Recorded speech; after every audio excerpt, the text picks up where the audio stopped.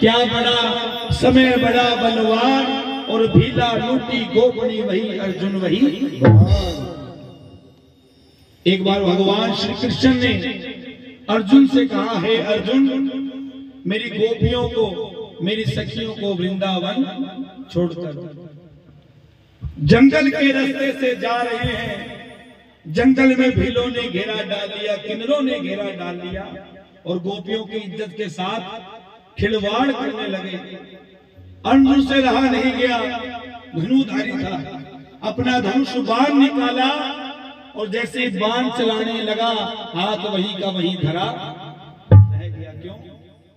क्योंकि गुरु का फरमान था, किसी निहत्ते पे, किसी किन्नर पे वार करेगा तो तेरा सर्वनाश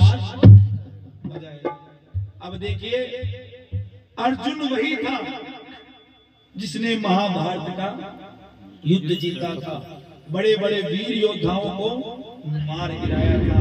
अर्जुन तो आज भी वही है लेकिन समय उसके पक्ष में वही है। वचन में बंधा हुआ है। बाण उठा नहीं सका तीर चला नहीं। गोपियों को बचा नहीं सका वक्त इंसान का सम्मान करा देता है और वक्त इंसान का अपमान करा देता है। वक्त इंसान का सम्मान करा देता है और वक्त इंसान का अपमान करा देता है। अरे, वक्त में पढ़कर मैंने ये जाना, वक्त अपनों की अगर वक्त आपका है तो सभी आपके हैं। लेकिन ये याद रखिएगा, जिस दिन सब साथ छोड़ जाएँगे, इसका द्वार तब भी आपको खुला मिलेगा। क्योंकि मेरे दुख के दिनों में वो बड़े काम आते हैं जब कोई नहीं आता तो मेरे शाम लेकिन आएँगे कब? जब हमारी दोस्ती इससे बिल्कुल पक्की होगी रिश्तेदारी इससे पक्की होगी। ये नहीं भी मतलब है तो गए चले और मतलब भगवान ने पूरा कर दिया तू कौन और इंसान को कभी भी अपने समय का घमंड नहीं करना चाहिए। कब राजा से रंक और रंक से राजा कर दे, उसकी कृपा को कोई नहीं जान सकता।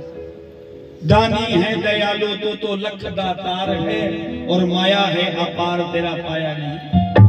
इसकी लीला को कोई नहीं जान सकता। जिसने शीश का दान दिया हो वो क्या आपका काम नहीं कर सकता साहब? जो मर्ज़ी काम कहीं करने को तैयार है लेकिन काम करवाना आना चाहिए। आप कैसे काम करवा सिकंदर आज़म जिसने सूर्य उदय से सूर्य अस्त तक राज किया, लेकिन जब गया तो दोनों हाथ खाली। और ये कहकर गया, जहाँ से मेरी अर्थी गुजरे, मेरा जनाजा गुजरे, मेरे हाथ अर्थी से बाहर। और जहाँ से गुजरता जाऊँ, हीरे जवाहरात बिछाते जाना। मेरी अर्थी उठाने वाले बड़े से बड़े वैद हो, बड़े से बड़े डॉक्टर हो, बड़े से बड़े हकीम हो। क्यों? ताकि दुनिया को ये पता लगे जिस सिकंदर आज़म ने सूर्य उदय से सूर्य अस्त तक राज किया, कोई डॉक्टर उसे बचा नहीं सका, कोई वैद उसे बचा नहीं सका। और जिस धन के लिए लूटपाट की, वो एक रुपया भी अपने साथ नहीं ले क्या लेके आया बंदे, क्या लेके जाएगा? खाली हाथ आया बंदे, खाली हाथ साथ में क्या जाएगा? दिया हुआ दान और लिया हुआ उस परम पिता परमात्मा का नाम। इसके अलावा ना कुछ गया है जिसे तू बेटा कहता है। वो बेटा कहाँ तक है? मुखाग्नि लगाने तक। सात जन्मों की जिसे अपनी घरवाली कहता है वो कहाँ तक है?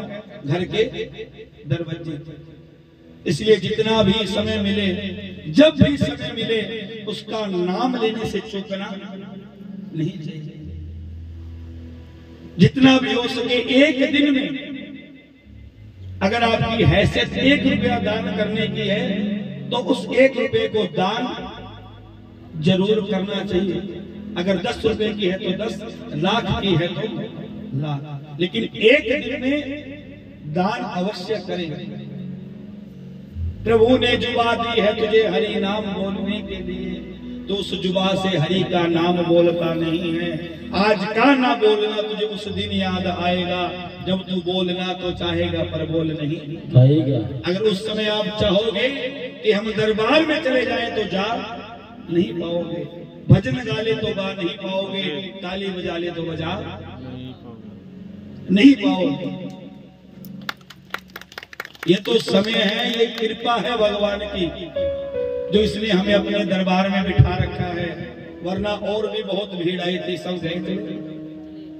इससे बड़ी कृपा नहीं हो सकती कि हम इसके दरबार में स्वस्थ बैठे हैं, इसकी गोदी में बैठे हैं, इसके भजन सुन रहे हैं। इससे बड़ी कृपा क्या होगी भगवान की? कितने कृपा नहीं होती। अरे सबसे बड़ी कृपा तो ये है इसने हमें अपने भजनों में बिठा रखा अपने दरबार में बिठा रखा बोले भक्त और भगवान की आइए, सुनेगा बड़े प्रेम, बड़े भाव से। वो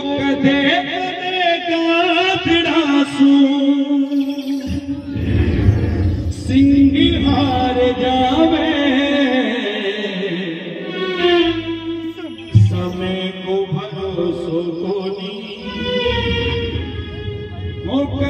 पलटी मार जावे। किस क्षण, किस पल क्या हो जाए, ये कोई नहीं जान सकता। जिस पल में बैठे हैं, उस पल का आनंद लीजिए और भगवान के नाम लीजिए। बोले, भक्त और भगवान की बोले